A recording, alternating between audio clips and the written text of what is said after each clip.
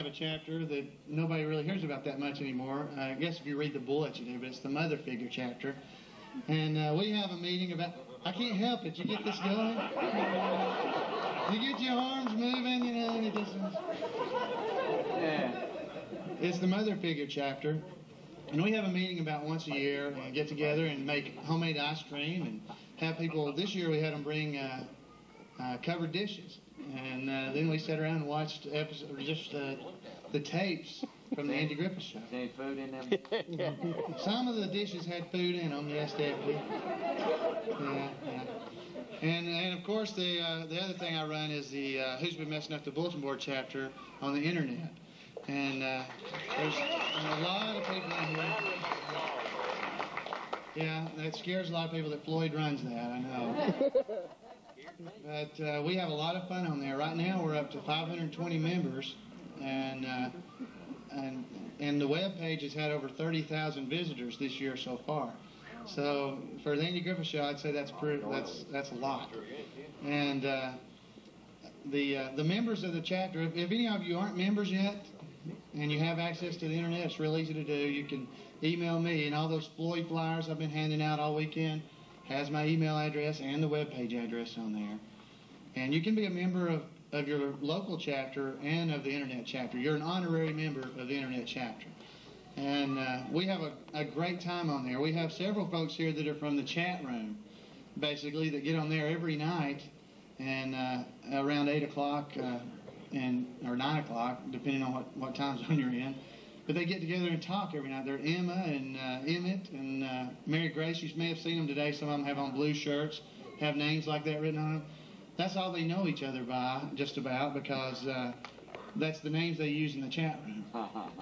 And everybody in the chat room picks out some Mayberry name. We have great, some really good names. Like we have one guy's his name on there is MPO. It's uh, Milton P. Oliver is his name. you know, and uh, that that's just it's more fun than you would imagine. Just getting on there and you get on and chat and talk about not just the Andy Griffith show, but hey, there they are back there. They woke up. That's good. Somebody woke them up back there. Yeah. There's Barney Fife right there. Yeah. We can file the mafia. On there, and I want everyone from the port to stand. I understand that there's 27 of us here, and we have all met for the first time face to face through the internet this weekend. So you hear a lot of bad rap about internet chat rooms. Well, this is a good story about internet chat rooms. I want everyone from the port to please stand. Yeah, everybody from the front porch that visits it. Now, I don't run the front porch. That's a separate thing, but that's a uh, a guy runs that. As you can look around a little bit and see several of them. Well, we have all They're- on yours as well. that's right. And, well, I'm not knocking the front porch. Don't be knocking it at all. You may you have to paint it. That's right. Yeah, that that's a, a great web page you can visit and meet a lot of these same folks that are here tonight. And uh, I, encourage you, if you have access, a lot of people I know when we first started talking about doing this on the internet, were saying, you know, that's not Mayberry.